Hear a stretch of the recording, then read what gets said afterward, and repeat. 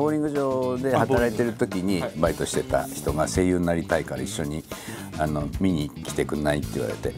あもしかしてそのお友達が役者を目指すみたいなことになって、はい。ついてきてよって言われたからじゃあついていくよって言って、そこで和彦さんそのまま役者になったそうパターンですか？あ出ました。一流のパターンだこれ。そういうの多いよね。そうそれで和彦さんだけ受かった。お友達は？落ちた。ほらほら出た。一流のパターンだこれ。